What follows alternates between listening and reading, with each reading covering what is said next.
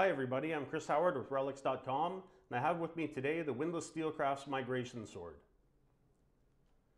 The Migration Sword is made using top grade materials, it's aesthetically attractive, and it's a fully functional effective slashing sword capable of holding a very sharp edge with our optional sharpening service. The blade on the Migration Sword was considered quite the advancement by 7th century bladesmiths for the use of its extra wide fuller. The large groove in the blade drastically reduces the weight of the sword without sacrificing strength.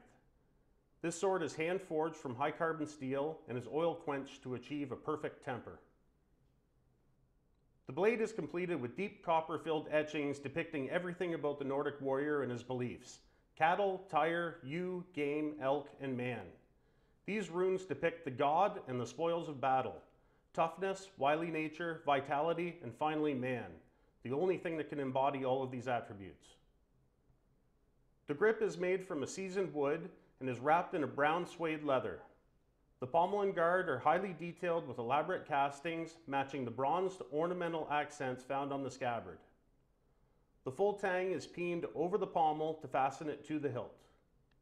The scabbard comes with an integral belt which is adorned with a bronze dragon, a buckle perfectly matching the copper and bronze highlights on the rest of the scabbard. The detailing is incredible on this sword through all of the casting and carving work on the hilt, the scabbard, and the belt.